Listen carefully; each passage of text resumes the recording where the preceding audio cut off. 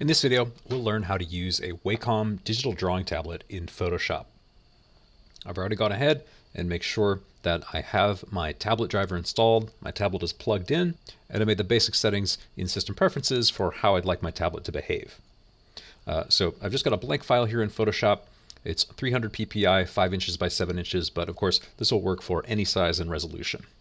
Now we'll need to make sure that we're on a tool that uses the brush interface so in our case, that's the brush tool. Uh, I've already selected that and set a foreground and a background color. Now by default, uh, I can just go ahead and use my stylus on the tablet to draw and I can see I'm tracking the position of my stylus, but nothing's really changing as I vary the pressure. So I'll go ahead and undo that. Uh, let's go ahead and see if we can tie in pressure sensitivity to the opacity of our brush stroke.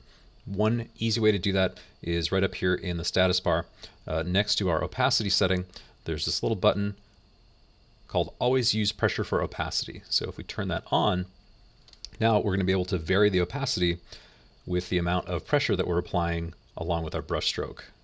So you can see I'm starting off very soft there and kind of increasing, uh, and that is allowing me to vary the opacity along with the placement of the brush stroke on screen. Okay, let's go ahead and undo that. Now, in a similar way, we can use pressure to vary size. So let's go ahead and toggle off our opacity control.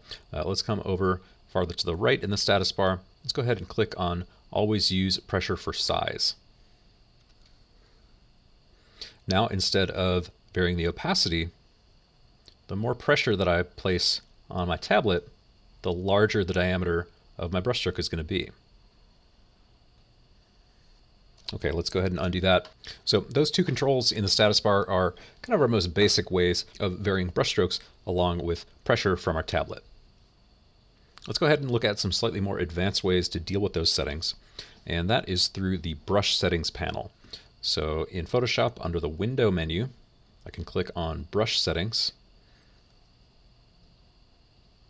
and that usually automatically brings up the brushes tab alongside of it. I'm going to undock the brushes tab. That way I can look at both of these at the same time.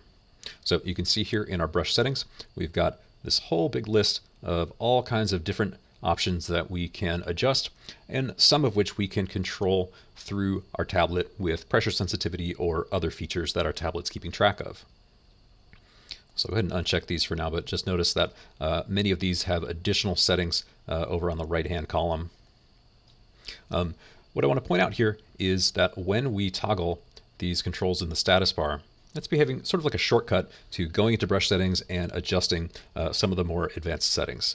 So for example, when we use pressure to vary opacity, we're really adjusting the transfer setting of our brush and mapping it onto pen pressure. And when I toggle that off, it stays off. Now, same thing goes for using pressure to vary size. When I click that, I turn on shape dynamics in my brush settings and I'm using my pen pressure to control uh, the size of my brush stroke. So we have the option here of combining both of these things, controlling both the size and the opacity with the pressure that we're placing on our tablet. Um, some folks like to draw this way, other folks like to be able to uh, basically pick and choose on the fly what you're controlling using the pen pressure.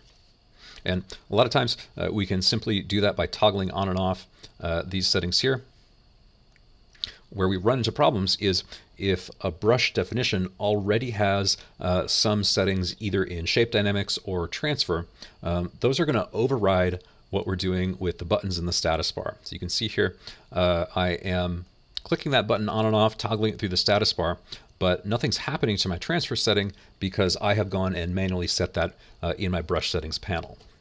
So if we are wanting to dynamically switch back and forth between controlling opacity with pressure or controlling size with pressure through these status bar buttons, we'd want to come into the brush settings panel and lock down shape dynamics and turn off and lock down transfer. So that's going to make sure that we can always, uh, through the status bar buttons, toggle on and off either the size uh, or the opacity.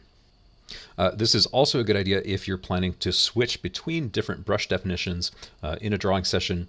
Again, a lot of times uh, those definitions will already have shape dynamic or transfer settings set up.